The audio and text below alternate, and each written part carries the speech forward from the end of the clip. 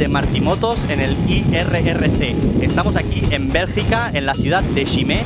Como podéis ver, un circuito urbano acojonante. La primera novedad, la primera buena noticia y por lo que estamos muy contentos es por esto. Finalement, je me sens impatient, vraiment impatient de pouvoir recourir à nouveau.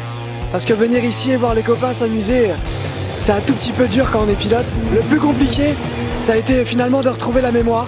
J'ai dû me mettre debout à nouveau, réapprendre à marcher, réapprendre à faire plein de choses de la vie quotidienne finalement. J'espère vraiment pouvoir recourir euh, d'ici la fin de l'année, au moins une fois ou deux, parce que c'est ce qui me manque le plus en fait.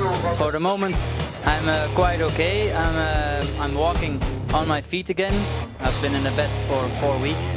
Then after that, I couldn't move my feet, and then I had to go in a wheelchair. And every day I go to the physio.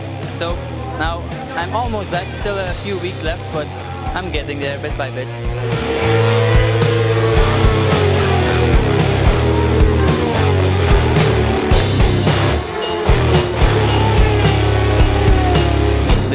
Ayer fue una jornada negra aquí en Chimay. Eh, hubieron dos muertos y también una caída muy fea de Vic de Cormeter, eh, bueno, un belga que rodaba aquí en, en el IRRC, eh, era su país.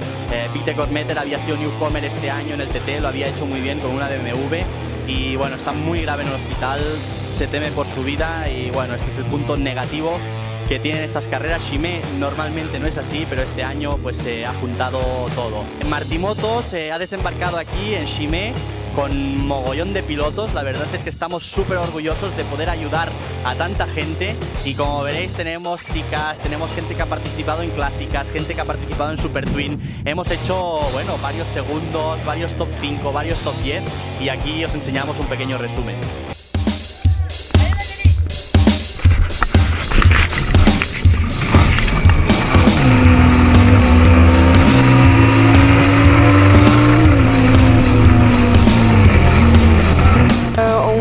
Quand même pour, euh, pour s'amuser, pour, euh, il n'était pas question de faire des chronos, mais euh, le, le principe c'était euh, c'était de, de- de retrouver des, des sensations sympas sur un circuit et puis, euh, et puis de s'amuser, ouais, d'avoir dans l'ambiance du circuit. Dans l'ambiance du circuit avec toute une équipe, euh, euh, avec plusieurs motos quand même qui sont là, euh, de Bretagne.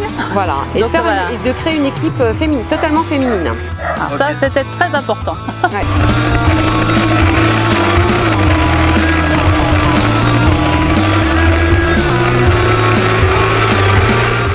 I love Chimay. It's um, it's it's just a very good circuit to start with, uh, and I like the people, and um, I've just had some good, good times here. It's it's nice. The village is nice when you're not racing to go down and walk down to the village. Um, but most of all, the tracks the track's awesome. It's great.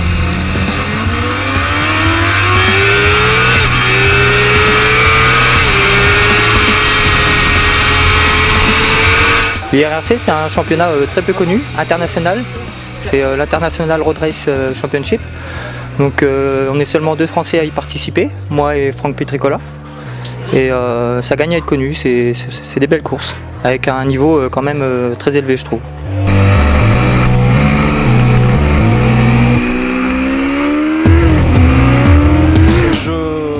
J'ai un boulot à côté, donc je travaille pour une concession d'art. Et en parallèle, j'anime, on va dire ça, un blog qui s'appelle Elan Vanine, euh, où ça traite principalement de courses sur route. euh, donc euh, toutes les courses, un TT, Ulster, et qui réunit bah, voilà, tous les passionnés euh, qui aiment suivre ces courses.